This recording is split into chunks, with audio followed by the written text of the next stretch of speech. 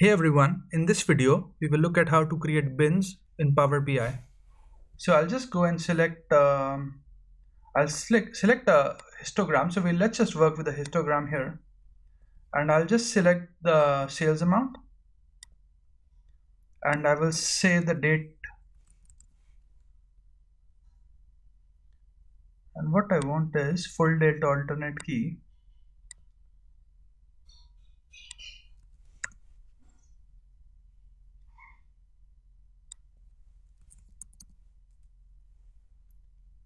So I'll select this from the date dimension and I'll put it here in the shared axis. And let me just convert this as a date and not a date hierarchy. And you can see that we, we've got data here and this is how the data is getting displayed from, let's just put this in focused mode.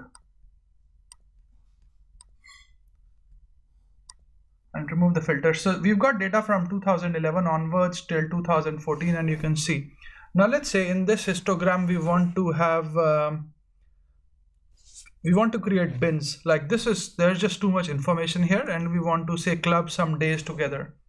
So we could club those days together. So right click on this one shared axis and click on new group. And it opens this groups option for you and it's saying that group type is bin and size of bins.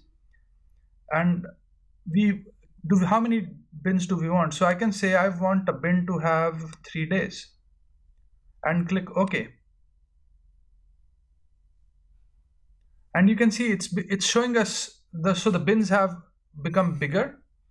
Let's just change this size again and you will get an idea. In place of one day I will put in 10 days maybe and hit OK here. And you can see now that our bins are there's just not too much information. We can start making some form of sense out of this. And let's just go again. And in place of say 10 we'll just say 20 days that my bin will have 20 days.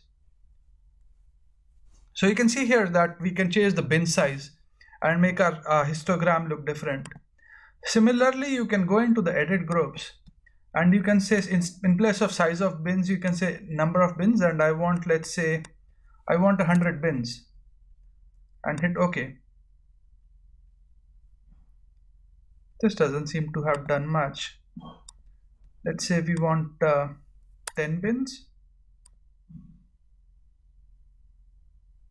So it's let's just go again here and say a thousand bins.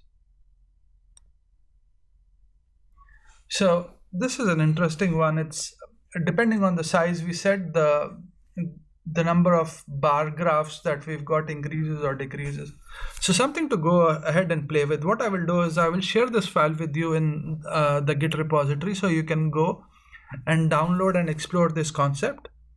I hope you find this uh, video useful and thanks for watching. Sorry about that. Thanks for watching this video.